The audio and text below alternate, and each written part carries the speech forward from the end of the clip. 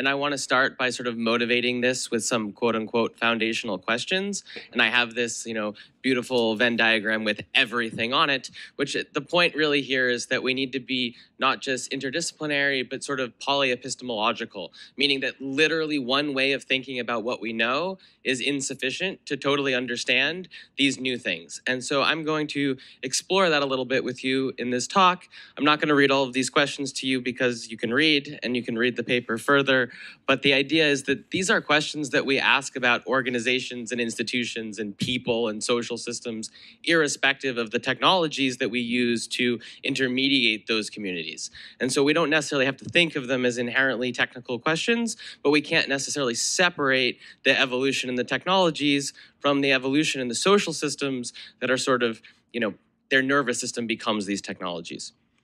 So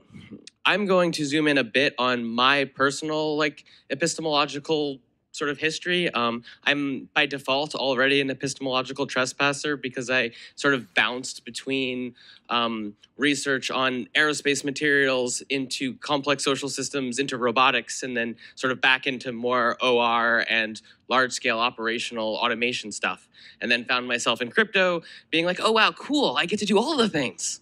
and that's really exciting because well i like doing all the things and so in this particular talk i'm going to hone in on this sort of triangle here where we look at economics complex systems and systems engineering as sort of